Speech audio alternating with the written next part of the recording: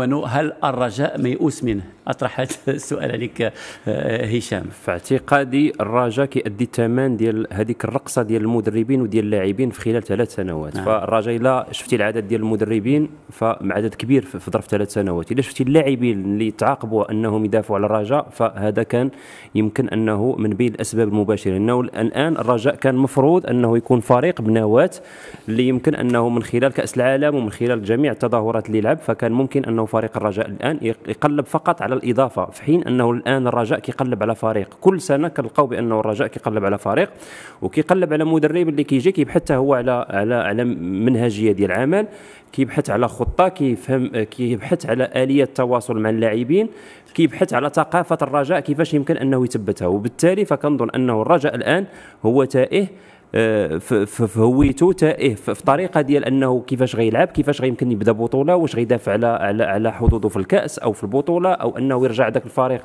بذاك البريق اللي بان فيه كأس العالم. فهذا هو الوضع الحالي الآن الرجاء.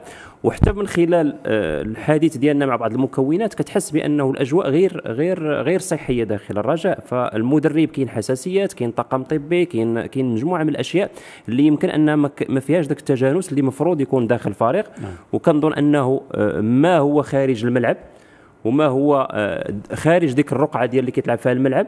فدائما كيأثر على ما هو داخل الملعب. للأسف هذا الشيء في المغرب كيكون بواحد الشكل كبير أنه ديك الأشياء اللي كتجرى خارج الملعب كتأثر على على الميدان بشكل مباشر. وتصف على كثير من الفرق نأخذ حتى مثلا المغرب الفاسي في فترة وصل شفناه في كأس الاتحاد الإفريقي بعد سنتين تغيير التشكيلة تقريبا ب 80% في وقت كان من المفروض أنه الفريق يكبر أكبر يعني أكثر نعم. أنه نضيفوا له لاعبين على المستوى. لاحظ الرجاء الرجاء تأثرت كثيرا بخروج لاعب نتكلم على ضربة جزاء. لو كان هناك متولي. يعني الجميع من فريق الرجاء سوف يتذكر متولي يعني خروج الراقي خروج ياجور. في وقت أنه الفريق كان لازم يكبر أكثر لكن هناك ظروف. يعني أكيد أنه الاحتراف الخارجي آه، سيصعب على لكن بالنسبة هذا الحالة ديال فريق الرجاء إذا كانت هناك حالة أيضا للفريق الفتح الرباطي في فترة من الفترات أيضا تفوق لكن لاحظنا أنه المجموعة يعني ابتدى خروج مجموعة من اللاعبين وتأثر الفريق. للأسف هذا الأمر أصبحنا نراه بشكل كبير في المغرب في الكثير من الفرق. بدلا أن تكبر نرى خروج مجموعة من اللاعبين